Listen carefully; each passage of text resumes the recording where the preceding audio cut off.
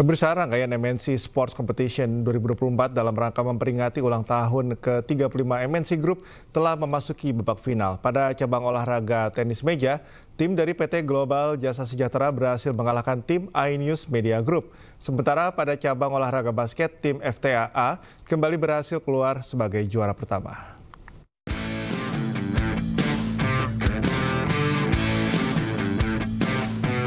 PT Global Jasa Sejahtera atau PT GJS sukses menyabet gelar juara di cabang olahraga tenis meja di ajang MNC Sports Competition 2024.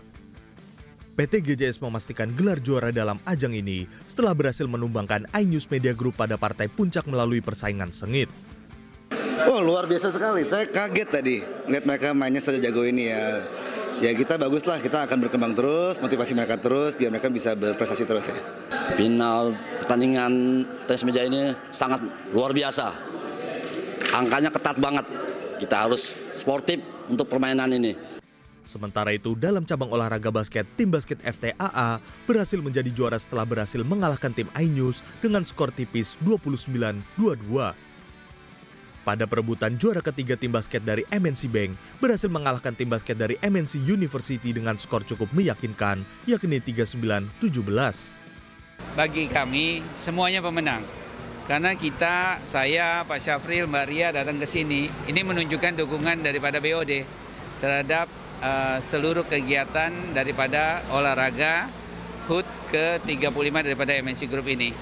Jadi kita happy sekali, sangat kompetitif. Tapi di samping itu walaupun mereka bersaing, mereka akrab sekali. Senang banget karena tahun lalu juga kita naik podium dan kebetulan ini RCTI tahun kelima kalau nggak salah berturut-turut di basketnya.